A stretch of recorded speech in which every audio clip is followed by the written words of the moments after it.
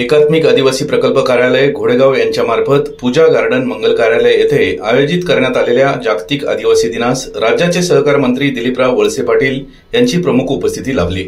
यावेळी आदिवासी बंधू भगिनींना आदिवासी दिनाच्या शुभेच्छा त्यांनी दिल्या व आदिवासी बांधवांनी त्यांच्याशी संवाद साधला. यावेळी आश्रमशाळा तसेच वसतिगृहातील गुणवंत विद्यार्थ्यांचा सत्कार करण्यात आला.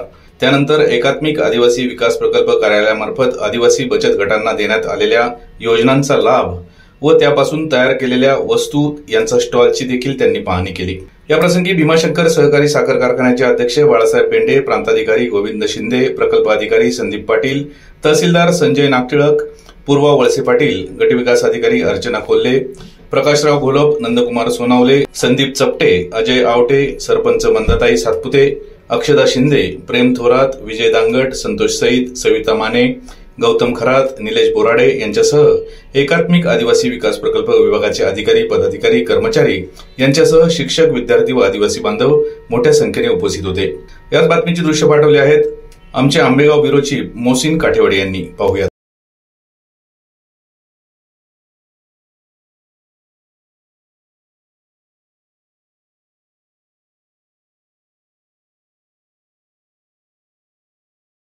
वतीनं आयोजित केलेल्या जागतिक आदिवासी दिनाच्या सेलिब्रेशनच्या कार्यक्रमाच्या निमित्तानं व्यासपीठावर उपस्थित भीमाशंकर सहकारी साखर कारखान्याचे चेअरमन माननीय बाळासाहेब पेंडे प्रांताधिकारी गोविंद शिंदे, प्रकल्पाधिकारी संदीप पाटील, तहसीलदार संजय नागटिळक, पूर्वा वळसे पाटील अर्चनाताई कोले, प्रकाशराव घोलप नंदकुमार सोनवले, संदीप चपटे अजय आवटे,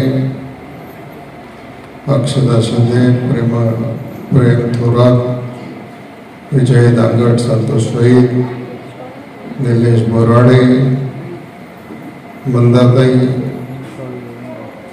व्यासपीठावर बसलेले सर्व अन्य मान्यवर आपण सर्व उपस्थित मान्यवर शिक्षक वर्ग ग्रामस्थ पत्रकार सर्व विद्यार्थी सर्व पुरस्कार विजेते सहकारी बंधू आणि आजचा दिवस आपल्या सगळ्यांच्या दृष्टिकोनातून महत्त्वाचा दिवस आहे. नऊ ऑगस्ट हा आदिवासी जागतिक दिन म्हणून साजरा करण्याच्या संदर्भामध्ये युनोमध्ये निर्णय घेतला गेला ब्याण्णव त्र्याण्णव साली. आणि तो आदिवासी दिन आपण आज या ठिकाणी साजरा करतो तसं पाहिलं तर उपस्थिती खूप मोठ्या प्रमाणात आहे.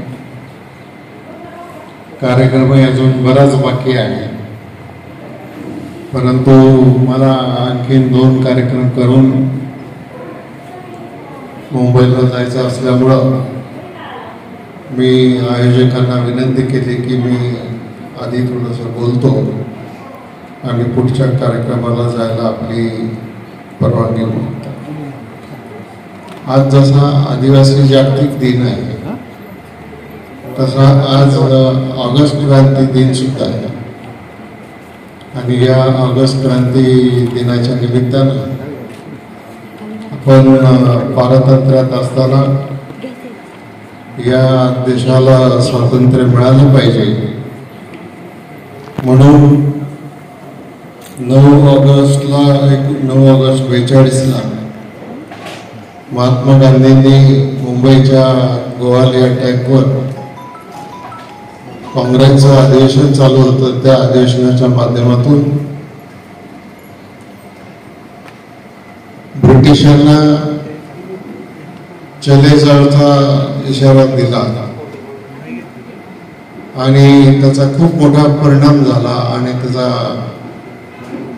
सत्तेचाळीसला का होईना.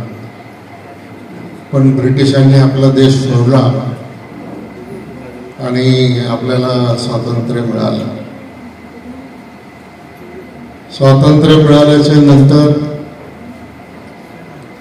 आपली घटना लिहिली गेली. राज्यघटना. ती राज्यघटना एकोणीसशे पन्नासला या देशामध्ये लागू झाली.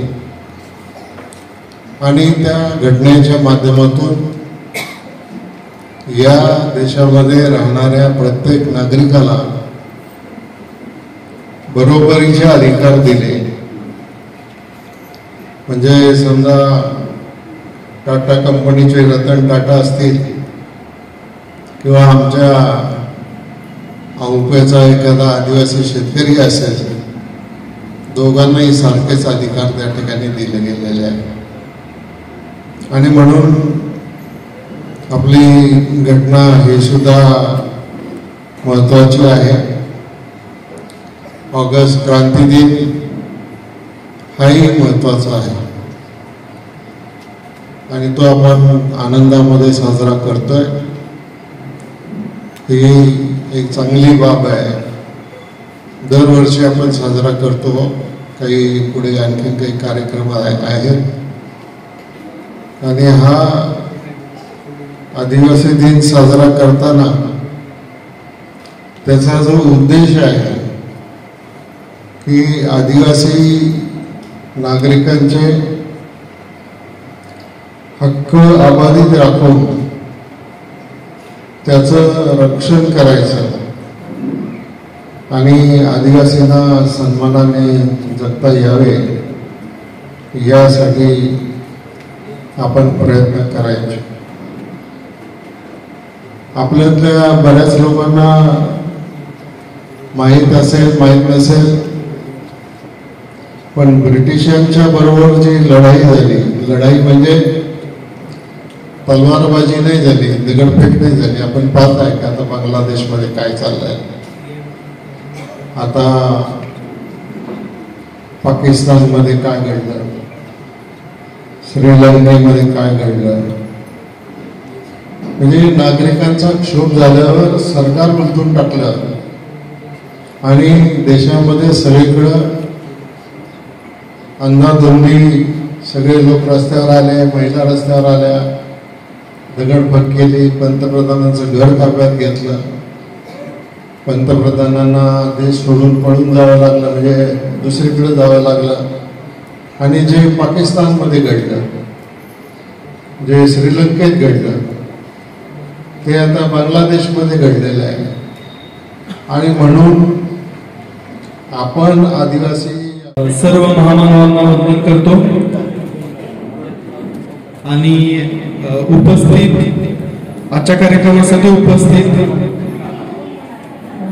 आदरणीय मंत्री महोदय वळसे पाटील साहेब अ, घोलप साहेब गवारी साहेब कडोलकर साहेब भीमा भीमाशंकर कारखान्याचे अध्यक्ष भेंडे पाटील साहेब पूर्वाताई सोनवणे साहेब तहसीलदार प्रांत गोविंद शिंदे साहेब तहसीलदार नागटिळक साहेब तसेच गट विकास अधिकारी कृषी अधिकारी व इतर सर्व उपस्थित मान्यवर उपस्थित सर्व विद्यार्थी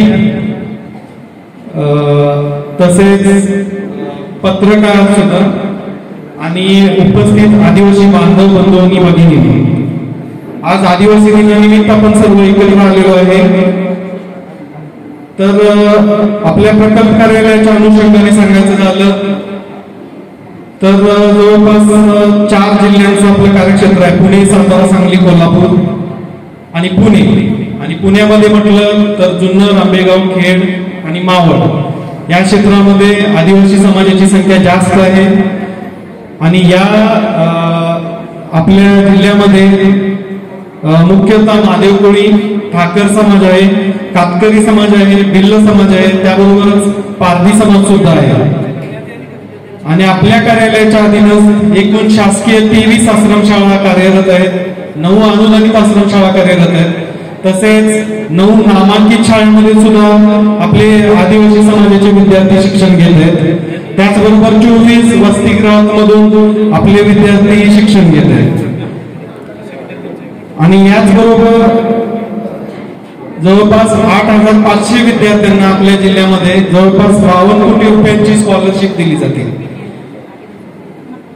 या वसतिगृह आणि आश्रमशाळामध्ये सर्व शिक्षण मोफत आहे.